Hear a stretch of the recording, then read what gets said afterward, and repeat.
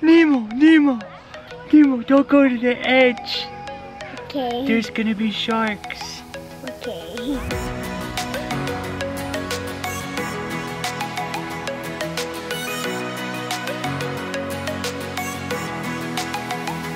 Hey guys, welcome to part two of editing photos on the go. Last week, I showed you how to transfer photos from your camera over to your phone. If you haven't checked it out, I'll put a link to it in the description or up here if you're on YouTube. This week, I wanna show you how I organize photos on my phone. Now for me, the purpose of organizing photos on my phone is to make it really easy to find, edit, and share photos without having to scroll forever through my camera roll. Forever. Forever.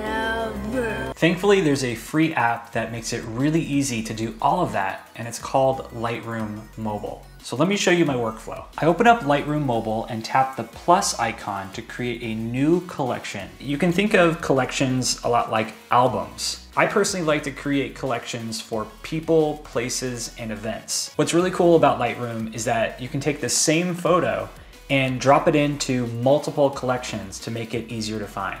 So if I take a photo of my son Cade celebrating his birthday at Disneyland, I can create three different collections, one for Cade, one for birthday parties, and another for Disneyland, and I can drop that same photo into each of them to make it easier to find. Now, if we open up the newly created collection, you'll see that it's empty, so we gotta add some photos to it.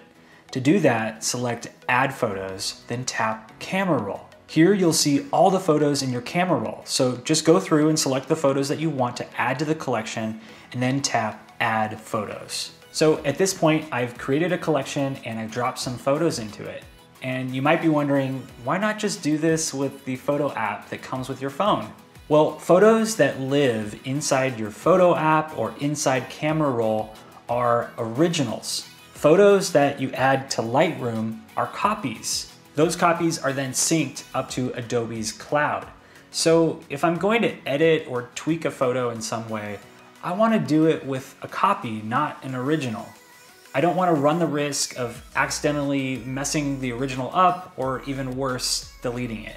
So for me, it's a lot easier to leave the original untouched photos in the camera roll or the native photo app and then back that up. And in a couple weeks, I'll kind of show you my backup strategy. So let's jump back to the collection we just created inside Lightroom. I wanna show you a couple things. One of the coolest features with Lightroom Mobile is the ability to sort photos inside each of your collections. So if you have a bunch of photos taken over a period of time, you can easily go in and sort them. When viewing a collection, just tap the name of the collection at the top and select Segmented. Then tap and hold the date to bring up the sorting options. Here you can select by year, month, day, or hour to make it easier to find that photo. Another feature I really like is flagging. So anytime I crop or edit a photo, I go ahead and flag it so that I know that I've made changes to it. So to flag your photos, just open a collection and select a photo. Then tap and hold your finger on the photo and select Enable Speed Review. You only have to do this once. Going forward, you'll be able to use this feature without having to enable it each time. Then all you have to do is swipe up on each of the photos that have already been edited. In order to see photos that have been flagged, all you have to do is just go back to your collection and then using a two finger press, tap the screen a couple times until you see the little check mark in the upper left hand corner. Everything I've shown you in this episode comes with the free version of Lightroom Mobile. If you want the ability to edit photos on your computer or laptop, or even better, sync any photos that you add to Lightroom on your phone and have them transfer wirelessly over to your computer, you have to sign up for Adobe's photography plan, which comes in at about $10 per month. I'm not promoting them and I'm not being paid by them in any way.